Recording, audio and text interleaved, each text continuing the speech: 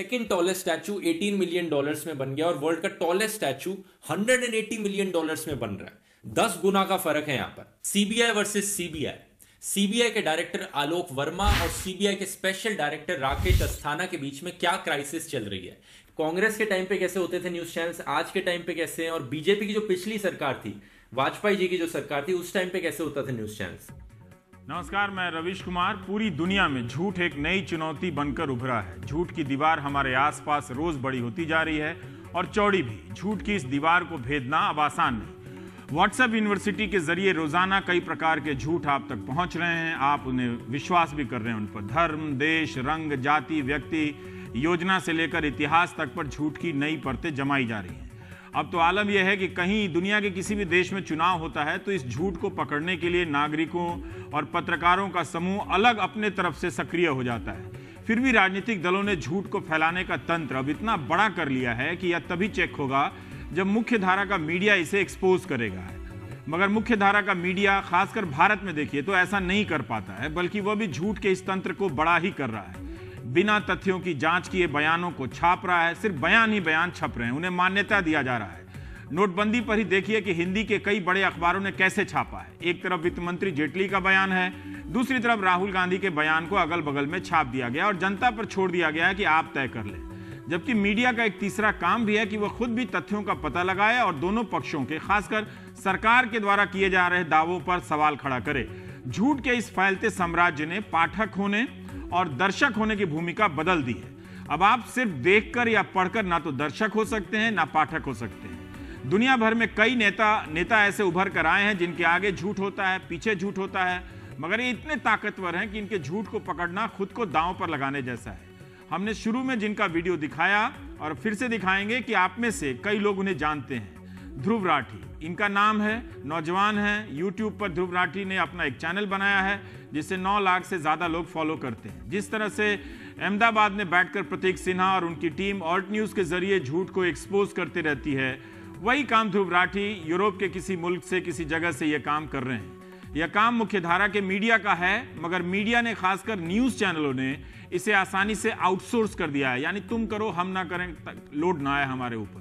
जो काम चैनलों का था, वो अब प्रतीक और ध्रुव कर रहे हैं। यानी अब झूठ को पकड़ना है तो निजी रूप से जोखिम उठाइए। वॉशिंगटन, अमेरिका अमेरिका में वॉशिंगटन पोस्ट बाकायदा गिनती गिनता है कि राष्ट्रपति ट्रंप ने कितने दिनों में कितने झूठ बोले। दो नवंबर को वॉशिंगटन पोस्ट ने खबर छापी थी कि राष्ट्रपति ट्रंप ने छह दिनों में, छह सौ उनचास दिनों के अपने कार्यकाल में 420 झूठ या भरमाने वाले बयान दिए इसका औसत यह निकाला गया है कि राष्ट्रपति ट्रंप प्रतिदिन पाँच झूठ या भरमाने वाली बात करते हैं। भारत में भी इसी तरह से झूठ की गिनती हो सकती थी, मगर जो गिनेगा, उसी के दिन गिनती के रह जाएँगे। भारत में मुख्य धारा की मीडिया का बड़ा हिस्सा भले इस झूठ के साथ हो गया हो, मगर अब भी कुछ पत्रकार हैं, कुछ वेबसाइट हैं, एक आध सवा चैनल भी हैं जो झूठ को पकड़ रहे हैं। तो हम झूठ के खिलाफ अकेले खड़े ध्रुव राठी से बात करेंगे। ध्रुव राठी इन दिनों भारत में हैं, उनका स्वागत करते हैं, लेकिन पहले उनका एक छोटा सा आपको वीडियो दिखाते हैं। दोस्तों इंडिया की मोस्ट पॉपुलर टूरिस्ट अट्रैक्शन और मोस्ट विजिटेड मॉन्यूमेंट है यहाँ पर ताजमहल। ताजमहल में हर साल आठ मिलियन लोग दुनिया भर से इसे देखने आते हैं। लेकिन सिर्फ़ और सिर्फ़ 25 करोड़ रुपए ईयरली रेवेन्यू जनरेशन होता है इन सारे टूरिस्ट से यहाँ पर। अगर हम ब्रॉड सेंस में देखें, अगर स्टैच्यू ऑफ़ यूनिटी ताजमहल जितना भी पॉपुलर हो जाता है तो सिर्फ़ और सिर्फ़ 25 करोड़ रुपए पर ईयर कमा पाएगा, यानी कि 120 ईयर्स इसे लग जाएँगे तीन हज़ार करोड़ रुपए की कॉस्ट को ब्रेक इवन करने में। इंस्टीट्यूशन का इंडिपेंडेंस है। आज के दिन उसकी बहुत ही बुरी हालत है। मुझे याद है 2013 में हमारे सुप्रीम कोर्ट ने कहा था कि सीबीआई हमारे देश का एक केज्ड पैरेट है। आज दोस्तों ये हालत आ गई है कि उस पैरट के पैर भी बाँध दिए गए हैं उसकी जीप भी काट दी गई है कि वो केज के अंदर रह कर भी कुछ बोल ना पाए अगर चलिए मिलेंगे हम अगले वीडियो में दोस्तों। धन्यवाद। ध्रुव आपका आ, स्वागत है। आपकी बात यूट्यूब पे आपका अपना एक चैनल है। फिर भी मैं जानना चाहता हूँ कि आप भारत से बाहर पढ़ने ही गए होंगे, नौकरी ही करने गए होंगे, किसी और मकसद से गए होंगे, लेकिन भारतीय मीडिया के स्पेस को लेकर किस तरह से, क्यों आप इतने इंटरेस्टेड हो गए? आप कह सकते हो कि पहले तो बहुत बहुत धन्यवाद इस शो पे लाने के लिए मुझे। जहाँ तक इसकी बात है कि क्यों शुरू किया मैंने ये करना। आप कह सकते हो इसका एक रीज़न था फ्रस्ट्रेशन कि मैं तंग आ गया था देखकर कि ये क्या होने लग रहा है हमारे देश में। मैंने पहला वीडियो अपना 2016 में बनाया था शुरू शुरू में। और उस टाइम पर मतलब इतने झूठ बोले जा रहे थे इतनी फेक न्यूज़ फोटोशॉप्स और ये सब की जाती थी कि मुझे लगा कि मुझे ही आके बताना पड़ेगा। सोशल मीडिया काफ़ी पॉपुलर था यूट्यूब पे मुझे वैसी वीडियो बनाना काफ़ी पसंद था काफ़ी टाइम से। तो मैंने यूट्यूब के माध्यम का इस्तेमाल किया और वीडियो बनाने शुरू कर दिए। और उसके बाद से मैं बनाते रहा लोगों को पसंद आने लगे और वो जब आप 2016 के साल में परेशान थे हताश हो रहे थे तो तथ्यों को ढूँढने के लिए आप भारतीय मीडिया के अखबारों चैनलों का सहारा लेते होंगे। बिल्कुल। तो क्या आपको उस वक्त या इस वक्त भी तथ्य नहीं मिल रहे थे आपको? नहीं तथ्य तो थे बस उनको हाईलाइट नहीं किया जाता था। असल में एक तरफ़ फैक्ट्स तो अभी भी मौजूद हैं। बस बात यह है कि जो टीवी मीडिया है, वो किस तरह से उनको हाईलाइट करता है, किस चीज़ों पे डिस्कशन करता है। अब एक खबर यहाँ पे आती है कि फाइनेंस बिल ने करप्शन को लीगलाइज कर दिया है। और दूसरी तरफ़ कोई ऐसी फालतू की खबर आ जाती है कि राहुल गांधी ने ये बयान दिया। तो मेन स्ट्रीम मीडिया हमारा उस राहुल गांधी के बयान पे ज़्यादा टाइम लगाएगा और वो करप्शन को लीगलाइज करने वाली बात को इग्नोर कर जिसमें चंदा देने वाले का नाम ज़ाहिर हाँ, नहीं किया जाएगा और फिर उसको बताया जाता है कि यह पारदर्शिता का उदाहरण है। हाँ, नाम नहीं बताना भी पारदर्शिता है। पर ऐसे बाहर के देशों के भी आप चैनल को अलटते पलटते रहते होंगे। तो कुछ फ़र्क दिख रहा है या आपको लग रहा है कि जहाँ आप रहकर काम करते हैं वहाँ का भी मीडिया वैसा ही हो गया है और यहाँ का भी मीडिया नहीं वैसा बहुत फ़र्क है। जहाँ मैं रहता हूँ वहाँ के मीडिया में और यहाँ के मीडिया में इंडिया की वर्ल्ड प्रेस फ्रीडम रैंक कितनी? 138 पे है आउट ऑफ़ 180 कंट्रीज़ जो भी डेवलप्ड कंट्रीज़ हैं सब टॉप 20 30 में आने वाली आप उनका मीडिया चैनल खोल के देख लीजिए हमारा देख लीजिए बहुत फ़र्क दिखता है। मैंने वहाँ पे रहने वाले कुछ लोगों को हमारे एक बड़े फ़ेमस जर्नलिस्ट की कुछ वीडियोस दिखाए थे। वो हंस हंस के पागल हो गए थे देखकर कि ये क्या चल रहा है? मतलब कोई एंटरटेनमेंट शो चल रहा है कि कॉमेडी शो चल रहा है? ये जर्नलिस्ट का वो चल रहा है। तो बहुत फ़र्क है। आराम से बात करते हैं। एक तो वहाँ पे लोग फैक्ट्स पे बात करते हैं और फालतू की डिबेट्स नहीं चलाते ज़्यादा, जिसमें झगड़े वगड़े होते हैं कि एक रिलीजन के बेसिस पे डिबेट कम ही चलती हैं। बस न्यूज़ को बताने का काम ज़्यादा करते हैं। फैक्ट चेकिंग का काम ज़्यादा करते हैं वहाँ पर। और ये फालतू की चीज़ें कम होती हैं। ये काम करने से पहले और भारत से जाने से पहले आप यहाँ अखबार तो पलटते ही होंगे चैनलों को देखते ही होंगे बहुत ज़्यादा आपकी उम्र नहीं है लेकिन फिर भी मैं जानना चाहता हूँ कि तब आ, क्या आप भारत की मीडिया को बहुत श्रद्धा से देखते थे? नहीं पहले डेफिनेटली रिस्पेक्ट तो थी मीडिया के लिए। वो धीरे धीरे टाइम टू टाइम कम होती चली गई है। एक टाइम था जब एक्चुअली में जब मैं सेवन्थ एट्थ क्लास में हूँ 2007 छः सात के अराउंड तब मीडिया की बहुत रिस्पेक्ट थी इंडिया में। मतलब ऊपर करके देखा जाता था अच्छा टीवी में आ गए तो कोई बड़ी चीज़ हो गई है टीवी में आ रहे हैं तो वहाँ पर। लेकिन धीरे धीरे ये चीज़ गिरती चली गई है और आज तो मुझे नहीं लगता कोई शान से बताने वाली बात है कि आप टीवी पे आ रहे हैं। लेकिन कुछ गिने चुने हैं जैसे आपकी तरह अच्छा लगता है यहाँ पर आकर कि एन डी पे आने का मौका मिल रहा है आपके साथ शो पर बैठने का मौका मिल रहा है। लेकिन यही चीज़ अगर और बाकी मेन स्ट्रीम मीडिया के साथ अगर होती तो मैं नहीं कह सकता कि ये लगेगा मुझे। पर अगर आप आ, इसका मतलब ये है कि आपने ठीक ठाक इन चैनलों को देख लिया होगा। अगर हाँ। आप इसको श्रेणीबद्ध करें कैटेगराइज करें हमारे दर्शकों की जागरूकता के लिए भी। जैसा कि मैंने कहा कि अब सिर्फ़ दर्शक होने से काम नहीं चलेगा अगर रिमोट खरीद लिया और बदल दिया कोई भी चैनल जहाँ तक मैं देखता हूँ कि कोई भी चैनल आप बदलिए, आपको कंटेंट वही दिखता है। तो अब रिमोट भी यूजलेस हो गया उसका कोई महत्व तो नहीं रह गया है। लेकिन फिर भी पाठक होना और दर्शक होना, अब ये दोनों की भूमिका, पुरानी भूमिका समाप्त होती है। हम लोगों की भी एक भूमिका बदल रही है कि बहुत सारे संदर्भों को लेकर बात करना पड़ता है, तब जाके एक तस्वीर सेकेंडरी और तीसरे प्रकार के सोर्सेज से। लेकिन फिर भी क्या ज़्यादा बुराइयाँ आपको भारत के टेलीविज़न में आपको नज़र आई कि ये नहीं होना चाहिए था? एक एक आपने दर्शकों की बात करी कि एक चीज़ तो है कि अब वक्त बदल गया है। एक समय होता था कि आपको न्यूज़ देखनी होती थी, आप टीवी खोलकर चैनल ऑन करते थे, जो न्यूज़ दिखा रही है वो आप देख लेते थे। लेकिन अब ये टाइम नहीं रहा है क्योंकि अब इतने तरह से एक न्यूज़ को दिखाया जाता है। एक हमारा राइट विंग पर्सपेक्टिव हो गया, एक लेफ़्ट विंग पर्सपेक्टिव हो गया तो अब दर्शकों को दोनों तरफ़ देखने ज़्यादा ज़रूरी हो गए हैं। दोनों पहलू एक खबर के वहाँ पर। तो ये दर्शक की रिस्पॉन्सिबिलिटी बनती है कि वो खोल के दोनों साइड देखे कि इस तरफ़ से क्या बोला जा रहा है उस तरफ़ से क्या बोला जा रहा है। इस तरफ़ के क्या फैक्ट्स प्रेजेंट किए जा रहे हैं उस तरफ़ के क्या फैक्ट्स प्रेजेंट किए जा रहे हैं। ये पहले करने की ज़रूरत नहीं पड़ती थी तो डेफिनेटली अब ये करना चाहिए लोगों को। जो रिलीजियस धार्मिक मुद्दों पर जो डिबेट होते हैं वहाँ भी हमने पढ़ा है कि जैसे अमेरिका में देखिए तो एक तरह की एक वाइट सुप्रीमेसी की बात आ रही है, रंगभेद एक नए तरीके से उभर रहा है।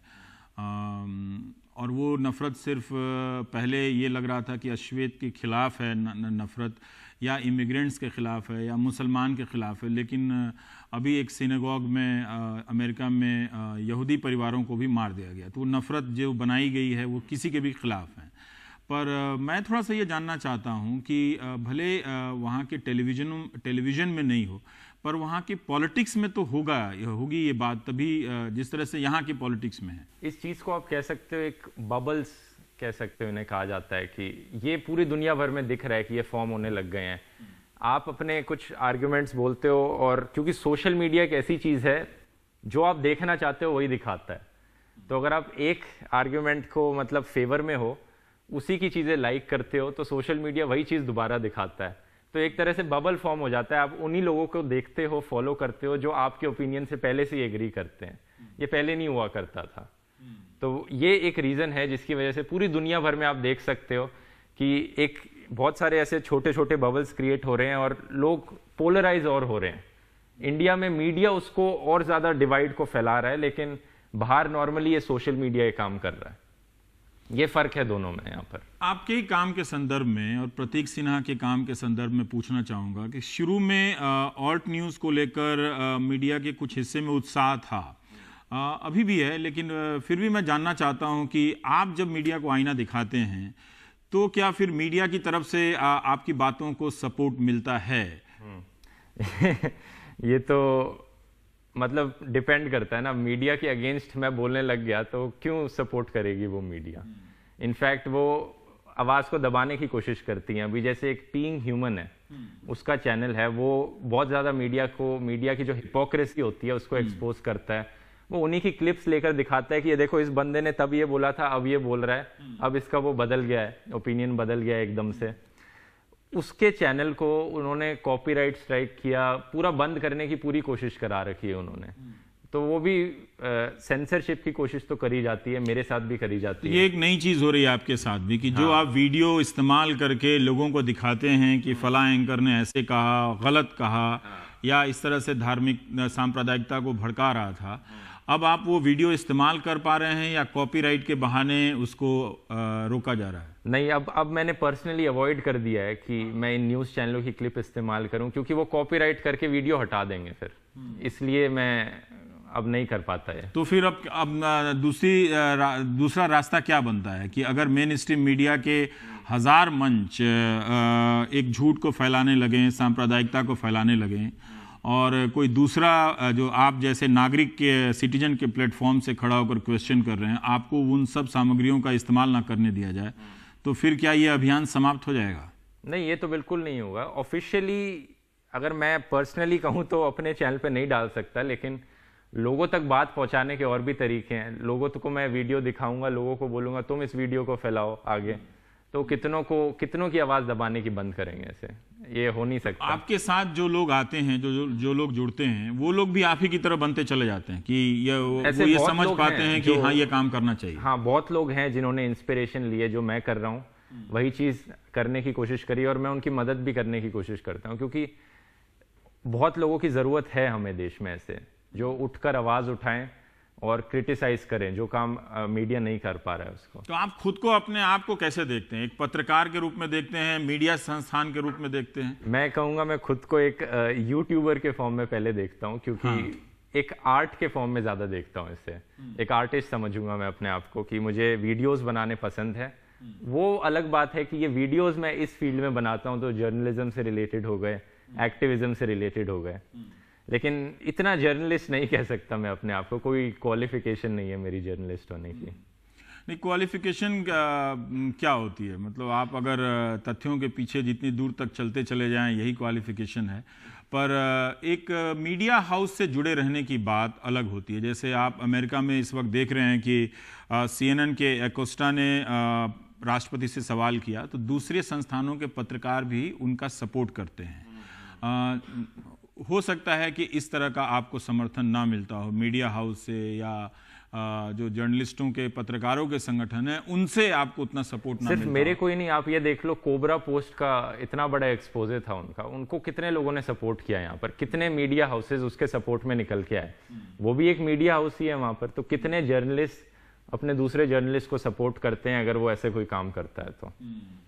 ये भी देखने हमारे सहयोगी उमा शंकर सिंह का ट्वीट में देख रहा था कि भारत में होता तो शायद बहुत कम लोग इस तरह से सपोर्ट करने पा कर पाते। लेकिन फिर भी आ, आप अपने आप को लगता है कि ये काम कर पाएँगे। जैसे हम लोगों से ही कई दर्शक पूछते हैं कि आपको डर नहीं लगता है। मैं तो मैं क्यों डरूँगा किसी से? आ, फिर उनके अंदर ये बात होती है कि यार बोलने से बोलने में एक खतरा है। तो क्या आप उस खतरे को सेंस करते हैं? नहीं, ये तो एक माहौल बनाया गया है। ये इनकी जो ट्रोल आर्मी है, ये गालियाँ देती है, कमेंट्स में ये गालियाँ देगी धमकी देगी वहाँ पर। लेकिन उनका तरीका है ये सेंसरशिप करने का। हालाँकि कुछ हद तक ये सही भी बैठता है, वो जो एक्चुअली में जब कुछ हो जाता है अनफॉर्चुनेट लेकिन ज़्यादातर टाइम ये क्या बोलूँ, सिर्फ़ बोलते ज़्यादा हैं ये, कुछ करते नहीं है। तो आपने इस भूमिका में आने के लिए अपनी तैयारी भी की कि कैसे बोलना है क्या करना कितना घंटा लगाता है जैसे हम लोग तो पूरा दिन रात सुबह शाम निकल जाता है इसमें। तैयारी तो मेरी एक्चुअली में कुछ नहीं हुई है। मैंने जब पहला वीडियो बनाया था आप पहले वीडियो को देखेंगे और आज के वीडियो को देखेंगे तो उसमें ज़मीन आसमान का फ़र्क है। मैं धीरे धीरे जैसे जैसे वीडियो बनाता गया खुद ही सीखता गया कि नहीं ऐसे बोलना चाहिए मुझे इसको ऐसे प्रेजेंट करना चाहिए। मेरे को बोलना भी ढंग से नहीं आता था आप उस वीडियो में देखेंगे तो। खुद ही सीखा हूँ जैसे जैसे काम करता गया सीखता गया और आज ही हो गया। मैं ये सवाल आपसे इसलिए पूछा कि मैं चाहता हूँ कि जो नौजवान हैं जो पत्रकार हैं जिनको नहीं मौका मिलता वो भी अपने तरह से इस तरह से अपने आप को संवारें तथ्यों को देखें।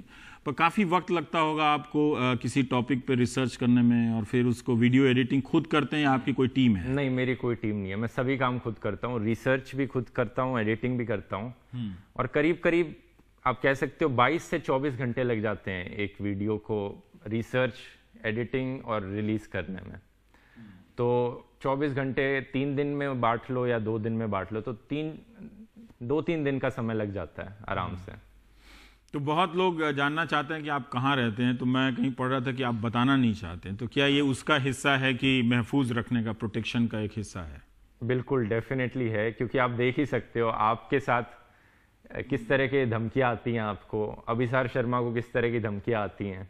जो भी सरकार के ऊपर सवाल उठाने की हिम्मत रखता है ये अपनी आर्मी भेज देते हैं उनके पीछे। तो इसलिए मैं इस चीज़ को छुपा कर रखना चाहता हूँ। एक धारा बनी थी कि सरकार की आलोचना नहीं करनी है। हाँ।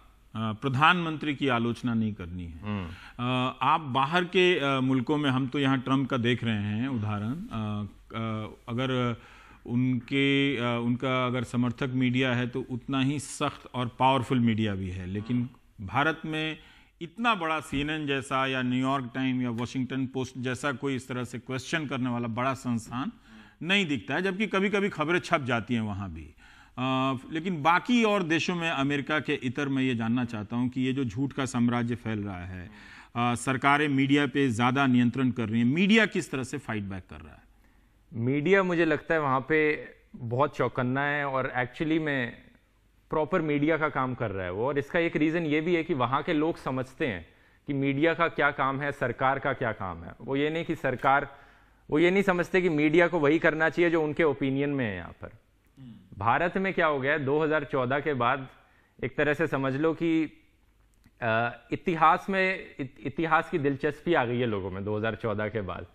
लोगों को आज के टाइम पे ये फ़र्क नहीं पड़ता कि आज क्या हो रहा है। लोग चाहते हैं कि जब मैं भी वीडियो बनाता हूँ कुछ लोग ऐसे हैं जो सवाल करेंगे कि तू साठ साल के क्यों नहीं बोलता? तू ये क्यों नहीं बोलता कांग्रेस के टाइम पे क्या हुआ था? भाई मतलब मैं सातवीं आठवीं क्लास में था जब कांग्रेस की सरकार थी। और एक्सपेक्ट करते हैं आज मुझसे कि आज की बात पर ना बोलूँ। कितना पॉल्यूशन आ गया है यहाँ पे ये स्टैच्यू ऑफ़ यूनिटी बनाया जा रहा है। लेकिन मैं दस साल पुराने स्कैम्स के बारे में बात करूँ।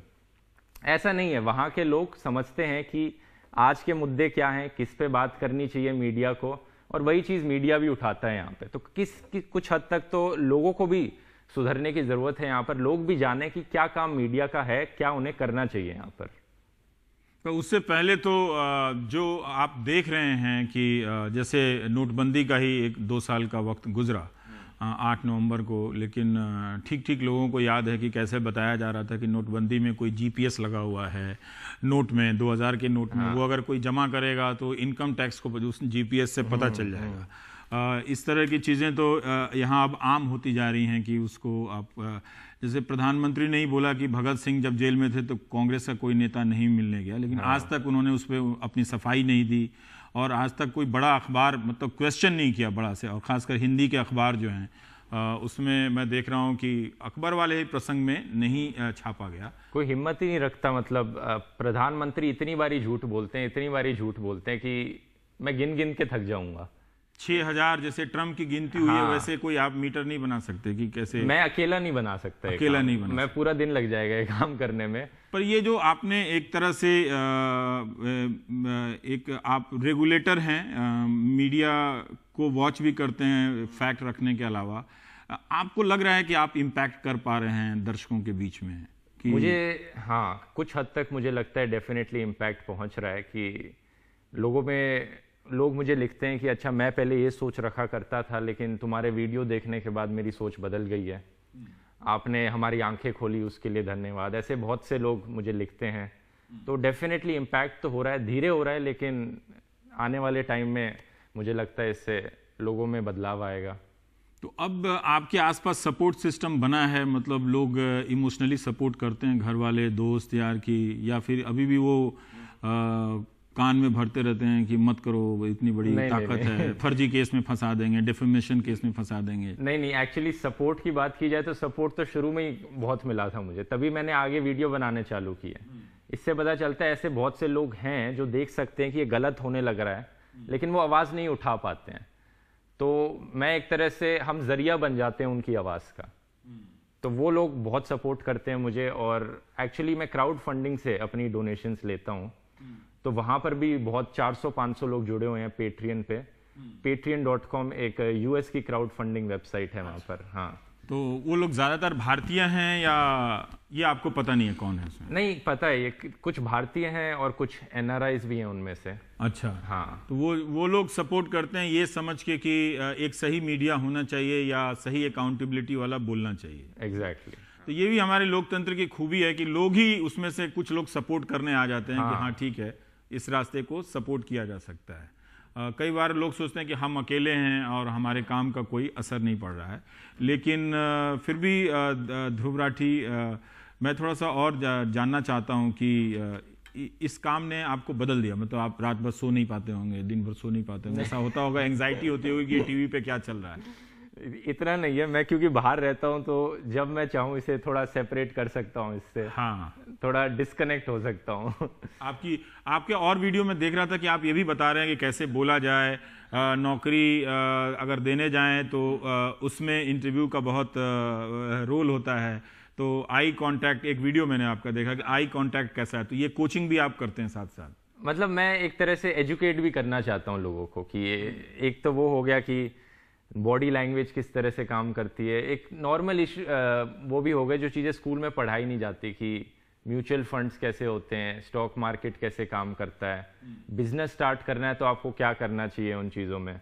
और क्रिटिकल थिंकिंग क्या होती है उसको कैसे आपको सोच रखनी चाहिए अपनी चीज़ों के बारे में? इन चीज़ों पे भी मैं वीडियोस बनाता हूँ। मैं जानना चाहता हूँ कि आपने जब आप इस दिशा में आए तो क्या आपकी दिलचस्पी हुई कि टेक्नोलॉजी लोकतंत्र को कैसे बदल रहा है? दुनिया में किस तरह से डेमोक्रेसी को लेकर बात हो रही है, उसे और ज़्यादा पढ़ने की? डेफिनेटली मतलब ये एक सोशल मीडिया बहुत ही अच्छा माध्यम है लोगों तक कुछ भी बात पहुँचाने का। तो मैंने इसे देखा कि इसको एक्चुअली में यूज़ किया जा सकता है लोगों को एजुकेट करने के लिए। जैसे आपने कहा कि क्या एक इंसान का महत्व है डेमोक्रेसी में? तो मुझे लगता है मैं इसको यूज़ करूँगा लोगों को बताने के लिए कि तुम्हें किस तरह से, क्या देखना चाहिए वोट करने से पहले? जैसे कहाँ पर तुम जाके देख सकते हो कि किस एमएलए एमपी पे कितने क्रिमिनल केसेस लगे हुए हैं? क्या देख सकते हो उनके बारे में कि तुम वोट करने जाओ तो तुम्हें पता हो कि मैं इस इंसान को वोट कर रहा हूँ, इसी को ही करना चाहिए मुझे। ये सब बहुत बहुत शुक्रिया ध्रुव। तो आपने ध्रुव राठी से मुलाकात की यूट्यूब पे इनको देखा भी होगा। इनके लिए एक नए शब्द का इस्तेमाल होता है जैसे हम लोगों को एंकर कहा जाता है ध्रुव को यूट्यूबर कहा जाता है। तो ये एक नया शब्द उन्होंने अपने लिए बनाया कि यूट्यूब पर अपना वो एक हस्तक्षेप कर रहे हैं। मीडिया के स्पेस में खुद मीडिया बन गए जो काम मीडिया का होना चाहिए था। आ, लेकिन मीडिया ने अपने साहसों को आउटसोर्स कर दिया है। ब्रेक के बाद हम चुनाव की बात करेंगे लेकिन आ, फिर से आपको याद दिला दें कि पाँच राज्यों में चुनाव हो रहे हैं। आप जब भी हिंदी के अखबार पढ़ें आप